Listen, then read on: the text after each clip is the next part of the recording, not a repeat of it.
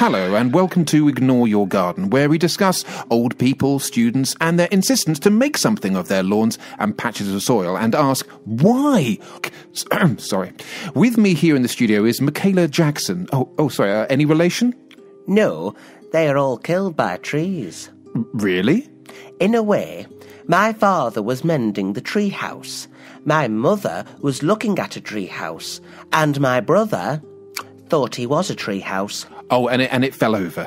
You wish. They all went to a garden centre and died of boredom.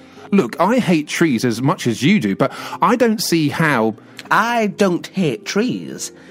You're thinking of my business partner, Fluella Antibark. I just suspect them.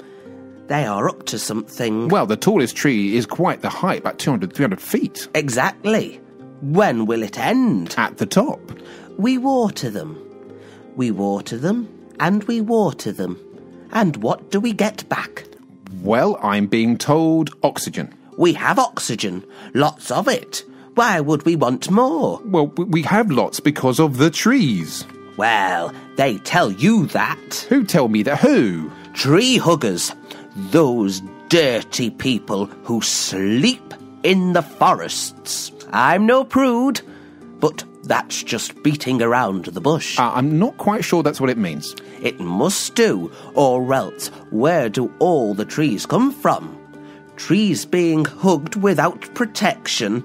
It's nuts. I think we've kind of gone off topic a little bit there. The title of the show is Ignore Your Garden. I'm not sure I can. Just lying there, out there, waiting to be wet. anyway, yes, thank you for coming to the studio, but I think it's time for you to leave. and go back to my roots. Well, yeah, look, look, no more, no more tree puns, please. Yes, I suppose you're sick of more of them.